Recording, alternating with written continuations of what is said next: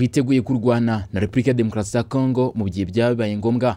Uyu ni perezida paul kagame agaragaza ko repubulika ya demokarasi ya kongo ku ikosa rimwe ryonyine gusa intambara igomba guhita itangira kurota. Aha perezida paul kagame yatangaje ko u rwanda rwiteguye kujya mu ntambara na repubulika iharanira demokarasi ya kongo mu gihe iki gihugu cyaba kirushojeho intambara nk'uko abarimo perezida wacyo bamaze igihe babyigamba. Umukuru w'igihugu yabitangarije mu kiganiro cyihariye aheruka kugirana n'umunyamakuru mark palman wa televiziyo france 24 perezida paul kagame yagaragaje ko ibikomeje kubera mu burasirazuba bwa repubulika ya demokarasi ya kongo ahasanzwe habarizwa umutwe wa fdr urwanya ubutegetsi bw'u rwanda ari ikibazo ku mutekano warwo. Yavuze ko uyu mutwe w'abajenosideri umaze imyaka ibarirwa muri mirongo itatu e, iba mu burasirazuba bwa kongo gusa umuryango mpuzamahanga aho kugira icyo uwukoraho ugahitamo gushinjwa u rwanda guha ubufasha inyeshyamba z'umutwe wa m23.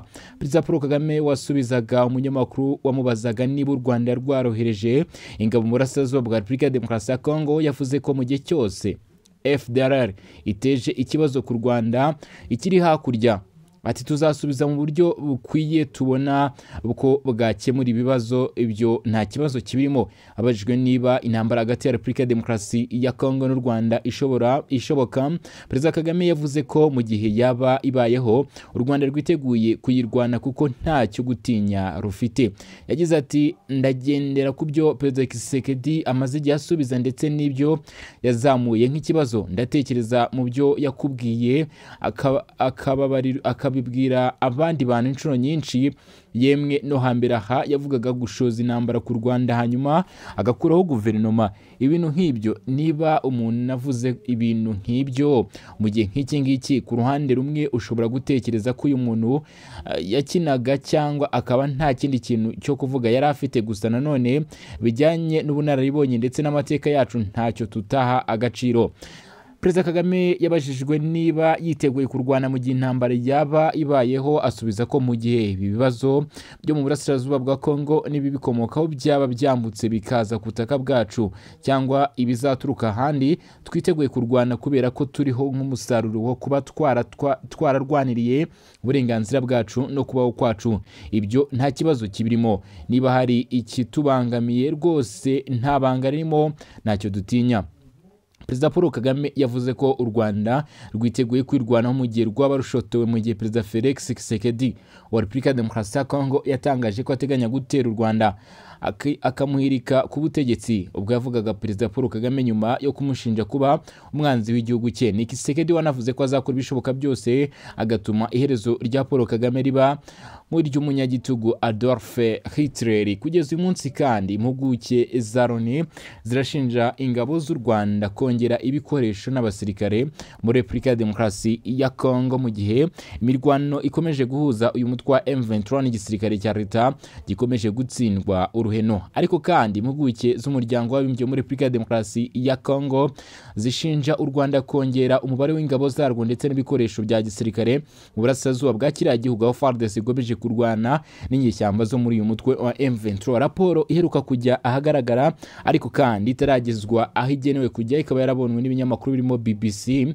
yatangazaga ko leta y'u Rwanda yaba iheruka kohereza abasirikare bagera ku gihumbi. Ni raporo kugeza ubu z'impuguke zitarashyikiriza loni ariko ibikubiyemo byamaze gushyirwa ku karubanda. Izi mpuguke inshuro nyinshi zakunze gushimangira ibirego bishinja u rwanda kohereza ingabo zarwo. Burasirazuba bwa kongo mu rwego rwo guha umusada inyeshyamba za m23 ni ibirego cyakora leta y'u rwanda yakunze kugaragaza nk'ibinyoma. Raporo yazo nshya ivuga ko muri mutarama uyu mwaka mu rwanda. U rwanda rwohereje muri congo abasirikare igihumbi aho iyi raporo ivuga ko kandi ibirenze ibyo ngo rwashakiye m23 abarwanyi bashya barimo abayinjiyemo ku bushake n'ababitiriwe ni abarwanyi ngo barimo abana bato ko bashaka bikaba byarakorewe muri kivu ya ruguru mu rwanda yewe no muri uganda. Impuguke za loni muri raporo yazo zivuga ko abarwanyi barwanya leta bamaze kugera ku ruhande rwa m23 bamaze igihe bahererwa imyitozo mu bice bitandukanye birimo umujyi wa bunagana ndetse no mu birindiro byitwa Canzu bisanzwe bibamo General Sultani Makenga ukuriye igisirikare cya M23. Izi mpuguke zivuga ko Colonel Kanyamibwa Leo wa M23 ari uyoboye ibikorwa byo gutoza abarwanyi bashya ba M23 gusa imyitozo nanone ngo ikaba iyoborwa n'abasirikare bo mu ngabo z'u Rwanda. Zivuga kandi ko u Rwanda rwongereye ingabo zirushinja kugira ubutaka bwa Repubulika ya Demokarasi ya Congo. Impuguke za Loni zivuga ko abasirikare ba RDF bari muri bari muri Repubulika ya Demokarasi ya Congo babarirwa mu bihumbi bitatu magana atanu bisobanura ko aba baruta ubwinshi abarwanyi b'umutwe wa M23. Izi mpuguke zivuga ko hari amashusho ya drone zabonye yerekana imirongo y'abasirikare benshi ba RDF banafite intwaro ziremereye bagera mu gace ka Rwindi muri Werurwe uyu mwaka. Zishinja kandi Colonel Migabo Clarisse kuba ari uyoboye izo ngabo. Usibye kohereza ingabo. Leta y'u rwanda cyangwa se rdf inashinjwa kohereza muri congo ibikoresho bya gisirikare birimo za burende ziriho radari na misile zihanura indege zirasirwa ku butaka ndetse n'imbunda nini zo mu bwoko bwa 122 mm 22 mm kohereza izi ntwaro muri congo ngo nta kindi bigamije usibye guhanura drone zo mu bwoko bwa ch kane repubulika ya demokarasi ya congo yari yaraguze mu bushinwa. Kuva mu mpera z'umwaka ushize ibihumbi na makumyabiri n'itatu M23 yemeje ko yahanuye ebyiri muri za drone indi imwe ikorera impanuka ku kibuga cy'indege cyahitwa Kavumo Repubulika Demokarasi ya Kongo mu minsi ishize yaguze izindi drone za CH4 gusa amakuru avuga ko izi drone zikiri i Kinshasa zitaroherezwa mu bice biri kuberamo imirwano. Kugeza ubu ntacyo u Rwanda ruravuga kuri iyi raporo ariko kandi rugaragaza ko rutazigera rwihanganira. Habe na gato ubushotoranyi bwa Repubulika ya Demokarasi ya Kongo bityo bikagaragaza ko u Rwanda rwiteguye kwinjira mu ntambara. Leta y'u Rwanda icyakora yakunze kunenga raporo nk'izi zigaragaza ko u Rwanda rwaba rufasha mu mutwe wa M23 bavuga ko nta na kimwe mu bikomeje kudindiza ibikorwa byo kugarura umutekano mu burasirazuba bwa Repubulika ya Demokarasi ya Kongo kigarukwaho ahubwo imvugo ari ugushinja u Rwanda.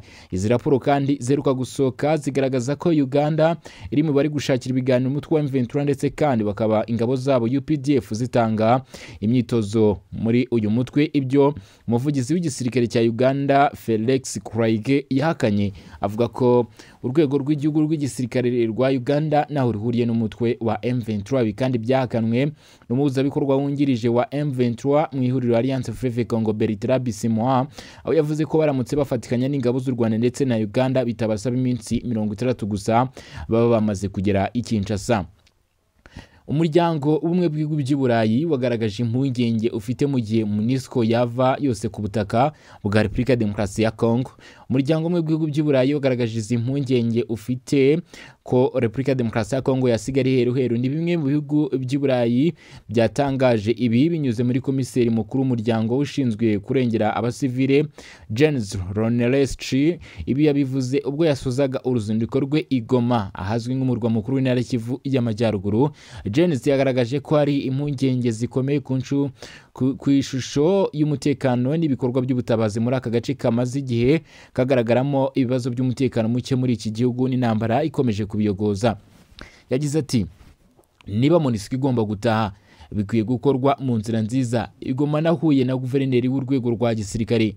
Wangaragarije uko umutekano wifashe mu ntara kivu y'amajyaruguru. Kandi uko bigaragara ntiwifashe neza ahubwo nubwo ukomeje kuba wazamba kurushaho. Uyu komiseri mukuru w'uyu muryango w'ubumwe bw'ibihugu by'i burayi yari kumwe na guverineri w'intara ndetse n'abayobozi banyuranye muri munisco n'abo mu miryango itabara imbabare yanasuye inkambi ya bushagara icumbikiwemo abakuwe mu byabo n'ibibazo by'umutekano iherereye muri teritwari ya nyiragongo. Jean yavuze ko kandi ko abayobozi ba congo bagaragaje imbaraga nke mu gushaka umuti w'ibibazo by'umutekano bimaze igihe kirekire mu burasirazuba bwa repubulika ya demokarasi ya kongo. Igenda ry'ingabo z'umuryango w'abibumbye ryakunze kugarukaho n'ubutegetsi bwa kinshasa bwagiye bunasaba abaturage b'iki gihugu kwirara mu mihanda bagakora imyigaragambyo yo kwamagana izi ngabo bashinja kuba ntacyo zabamariye. Usibye gusahura umutungo wa repubulika ya demokarasi ya kongo. General neva ndayishimiye evariste perezida w'u Burundi yagize icyo avuga ku ibura rya lisansi rikomeje guca ibintu muri iki gihugu nyuma y'imyaka igiye kugera kuri ine ayoboye iki gihugu. Perezida w'u Burundi evariste ndayishimiye yagize icyo avuga. Ni kuri uyu wa makumyabiri kamena bibiri na makumyabiri n'ine perezida evariste ndayishimiye yujuje imyaka ine. Ayoboye igihugu cy'u Burundi mu ijambo uyu mukuru w'igihugu yakigejeje kuri ku bene gihugu be yasobanuye ko muri myaka amaze ayoboye abarundi inzego zitandukanye z'ubuzima bw'u Burundi zateye imbere ku buryo bufatika. Ibi yabivuze mu gihe bamwe mu barundi barimo abadepite bamaze igihe bagaragaza ko ubukungu bw'igihugu bwahungabanye bitewe ahanini n'impamvu zirimo ibura rya lisansi. Ibura ry'amafaranga y'amanyamahanga afite agaciro kanini. Abandi bagahamya ko abaturage bakennye mu buryo buri mu kigero kitigeze kiba muri iki gihugu. Ku kibazo cy'abavuga ko lisansi itaboneka mu Burundi perezida Ndayishimiye yagize ati uyu munsi uyu munsi nshimishwa no ko mu magambo yo kwinuba numva bavuga bati tubuze iki? Nta bavuga ngo tubuze amafaranga yo kukigura kandi ni cyo bavuga ko babuze. Si kiva mu burundi kiva mu mahanga. Dushimishwa no kubona ko abarundi batahu, batahuye ko turi kumwe twese bishoboka. Evariste ndayishimiye yasobanuye ko mu rugamba rw'iterambere abo gutera intambwe ko ku yindi ariko ngo barakerewe kuko babanje kuba mu rwobo igihe kirekire bityo ngo niyo mpamvu bo basabwa gutera intambwe ebyiri icyarimwe yagize ati uno munsi umurundi wese ashaka byose rimwe. Nicyo gituma uwabifatira hejuru yavuga ko abarundi ari ndashima kuva mu bihumbi bibiri na makumyabiri. Byari ngombwa ko tureba ibiruta ibindi kuko imigeri ibiri idatereka kimwe. Mu kwezi kwa kane ibihumbi bibiri na makumyabiri na kane minisitiri w'intebe w'u Burundi Gervais Ndirakobuca yatangaje ko ibibazo bibugarije by'iki gihugu cyangwa se byugarije iki gihugu bikomoka ku bihano byafatiwe n'imiryango mpuzamahanga kuva bibiri na cumi na gatanu bitewe n'umwuka wari mubi watutumbye muri politike muri uwo mwaka kandi ko igisubizo gishobora kuzaboneka vuba. Ibyo nta kibazo kibirimo. Niba hari ikitubangamiye rwose nta banga ririmo ntacyo dutinya. Perezida paul kagame yavuze ko u rwanda rwiteguye kwirwanaho mu gihe rwaba rushotowe mu gihe perezida felix kisekedi wa repubulika demokarasi ya kongo yatangaje ko ateganya gutera u rwanda akamuhirika ku butegetsi. Ubwo yavugaga perezida paul kagame nyuma yo kumushinja kuba umwanzi w'igihugu cye. Ni kisekedi wanavuze ko azakora ibishoboka byose agatuma iherezo rya paul kagame riba nk'iry'umunyagitugu adolphe hitler kugeza uyu munsi kandi impuguke za loni zirashinja ingabo z'u rwanda kongera ibikoresho n'abasirikare muri repubulika ya demokarasi ya kongo mu gihe imirwano ikomeje guhuza uyu mutwe wa m23 n'igisirikare cya leta gikomeje gutsindwa uruheno. Ariko kandi impuguke z'umuryango w'abibumbye muri repubulika ya demokarasi ya kongo zishinja u rwanda kongera umubare w'ingabo zarwo ndetse n'ibikoresho bya gisirikare mu burasirazuba bwa kiriya gihugu aho fardes igomeje kurwana n'inyeshyamba zo muri uyu mutwe wa M23. Raporo iheruka kujya ahagaragara ariko kandi itaragezwa aho igenewe kujya ikaba yarabonwe n'ibinyamakuru birimo BBC yatangazaga ko leta y'u Rwanda yaba iheruka kohereza abasirikare bagera ku gihumbi. Ni raporo kugeza ubu z'impuguke zitarashyikiriza loni ariko ibikubiyemo byamaze gushyirwa ku karubanda. Izi mpuguke inshuro nyinshi zakunze gushimangira ibirego bishinja u rwanda kohereza ingabo zarwo. Burasirazuba bwa kongo mu rwego rwo guha umusada inyeshyamba za m23 ni ibirego cyakora leta y'u rwanda yakunze kugaragaza nk'ibinyoma. Raporo yazo nshya ivuga ko muri mutarama uyu mwaka mu rwanda. U rwanda rwohereje muri congo abasirikare igihumbi aho iyi raporo ivuga ko kandi ibirenze ibyo ngo rwashakiye m23 abarwanyi bashya barimo abayinjiyemo ku bushake n'ababitiriwe ni abarwanyi ngo barimo abana bato ko bashaka bikaba byarakorewe muri kivu ya ruguru mu rwanda yewe no muri uganda. Impuguke za loni muri raporo yazo zivuga ko abarwanyi barwanya leta bamaze kugera ku ruhande rwa m23 bamaze igihe bahererwa imyitozo mu bice bitandukanye birimo umujyi wa bunagana ndetse no mu birindiro byitwa canzu bisanzwe bibamo general sultani makenga ukuriye igisirikare cya m23. Izi mpuguke zivuga ko koloneli kanyamibwa leo wa m23 ari we uyoboye ibikorwa byo gutoza abarwanyi bashya ba m23 gusa imyitozo nanone ngo ikaba iyoborwa n'abasirikare bo mu ngabo z'u rwanda. Zivuga kandi ko u rwanda rwongereye ingabo zirushinja kugira ubutaka bwa repubulika ya demokarasi ya congo. Impuguke za zivuga ko abasirikare ba rdf bari muri bari muri repubulika ya demokarasi ya kongo babarirwa mu bihumbi bitatu magana atanu bisobanura ko aba baruta ubwinshi abarwanyi b'umutwe wa M23. Izi mpuguke zivuga ko hari amashusho ya drone zabonye yerekana imirongo y'abasirikare benshi ba rdf banafite intwaro ziremereye bagera mu gace ka rwindi muri werurwe uyu mwaka. Zishinja kandi koroneli migabo clarisse kuba ari we uyoboye izo ngabo. Usibye kohereza ingabo. Leta y'u rwanda cyangwa se rdf inashinjwa kohereza muri congo ibikoresho bya gisirikare birimo za burende ziriho radari na misile zihanura indege zirasirwa ku butaka ndetse n'imbunda nini zo mu bwoko bwa 122 mm 22 mm kohereza izi ntwaro muri congo ngo nta kindi bigamije. Usibye guhanura drone zo mu bwoko bwa ch kane repubulika ya demokarasi ya congo yari yaraguze mu bushinwa.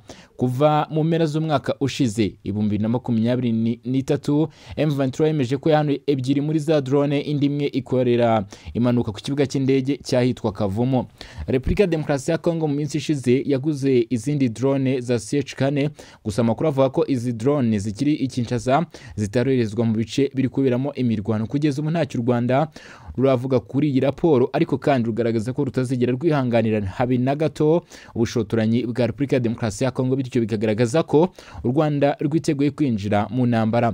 Leta y'u Rwanda icyakora yakunze kunenga raporo nk'izi zigaragaza ko u Rwanda rwaba rufasha mu mutwe wa M23 bavuga ko nta na kimwe mu bikomeje kudindiza ibikorwa byo kugarura umutekano mu burasirazuba bwa Repubulika ya Demokarasi ya Kongo kigarukwaho ahubwo imvugo ari ugushinja u Rwanda. Izi raporo kandi zeruka gusohoka zigaragaza ko Uganda iri mu bari gushakira ibiganiro umutwe wa M23 ndetse kandi bakaba ingabo zabo UPDF zitanga imyitozo muri uyu mutwe. Ibyo umuvugizi w'igisirikare cya Uganda Felix Kraige yahakanye. Avuga ko urwego rw'igihugu rw'igisirikare rwa Uganda naho ruhuriye n'umutwe wa M23. Ibi kandi byahakanwe n'umuhuzabikorwa wungirije wa M23 mu ihuriro Alliance Fleuve Congo Bertrand Bisimwa aho yavuze ko baramutse bafatikanya n'ingabo z'u Rwanda ndetse na Uganda bitabasaba iminsi mirongo itandatu gusa baba bamaze kugera i Kinshasa. Umuryango w'ubumwe bw'ibihugu by'i burayi wagaragaje impungenge ufite mu gihe munisco yava yose ku butaka bwa repubulika demokarasi ya congo. Umuryango w'ubumwe bw'ibihugu by'i burayi wagaragaje izi mpungenge ufite ko repubulika ya demokarasi ya kongo yasigara iheru heru ni bimwe mu bihugu by'i burayi byatangaje ibi binyuze muri komiseri mukuru w'umuryango ushinzwe kurengera abasivile janes roneresci ibi yabivuze ubwo yasozaga uruzinduko rwe i goma ahazwi nk'umurwa mukuru w'intara kivu y'amajyaruguru. Janes yagaragaje ko hari impungenge zikomeye ku ncu ku ishusho y'umutekano n'ibikorwa by'ubutabazi muri aka gace kamaze igihe kagaragaramo ibibazo by'umutekano muke muri iki gihugu n'intambara ikomeje kubiyogoza. Yagize ati niba monisiko igomba gutaha bikwiye gukorwa mu nzira nziza. Igoma nahuye na guverineri w'urwego rwa gisirikare.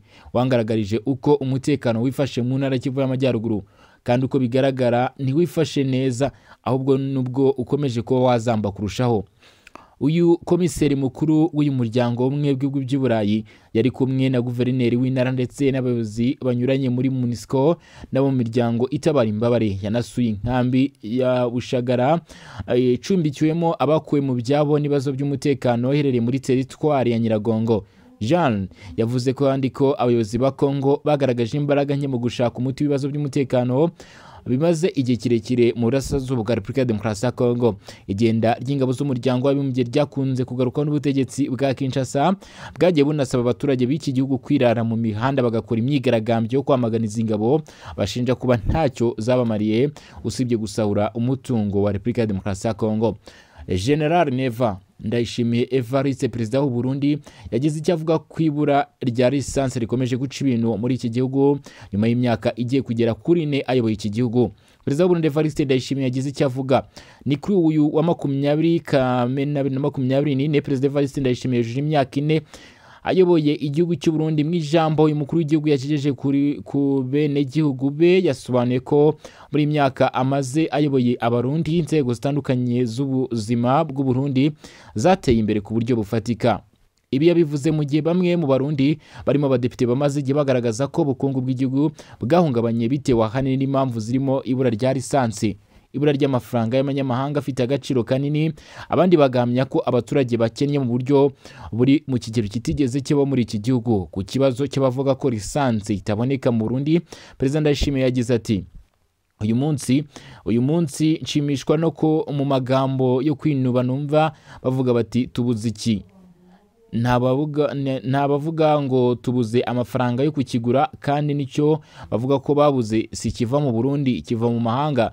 Dushimishwa no kubona ko abarundi batahu, batahuye ko turi kumwe twese bishoboka. Evariste ndayishimiye yasobanuye ko mu rugamba rw'iterambere abo gutera intambwe ko ku yindi ariko ngo barakerewe kuko babanje kuba mu rwobo igihe kirekire bityo ngo niyo mpamvu bo basabwa gutera intambwe ebyiri icyarimwe yagize ati uno munsi umurundi wese ashaka byose rimwe. Nicyo gituma uwabifatira hejuru yavuga ko abarundi ari ndashima kuva mu bihumbi bibiri na makumyabiri. Byari ngombwa ko tureba ibiruta ibindi kuko imigeri ibiri idatereka kimwe. Mu kwezi kwa kane ibihumbi bibiri na makumyabiri na kane minisitiri w'intebe w'u Burundi Gervais Ndirakobuca yatangaje ko ibibazo bibugarije by'iki gihugu cyangwa se byugarije iki gihugu bikomoka ku bihano byafatiwe n'imiryango mpuzamahanga kuva bibiri na cumi na gatanu bitewe n'umwuka wari mubi watutumbye muri politike muri uwo mwaka kandi ko igisubizo gishobora kuzaboneka vuba.